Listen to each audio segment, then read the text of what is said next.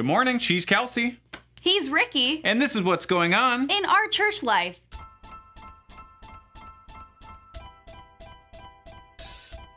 Hey, you, I'm talking to you.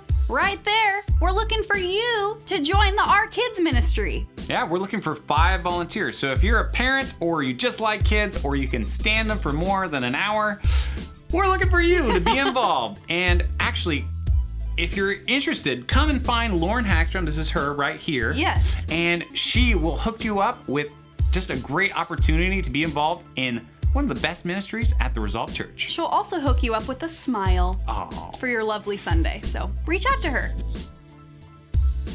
Let's play Who's the Bus? Which of these sports did Ryan Bus play in college? Disc golf, ultimate frisbee, hacky sack, or bowling? Lock in your answers now. If you chose any of these, you're wrong because none of these are sports. But Ryan Bus did play ultimate frisbee in college. Bowling's a sport. No, it's fine. It's none of these are sports. Thanks for watching. I'm Kelsey. I'm Ricky. And that's what's going on in our church life.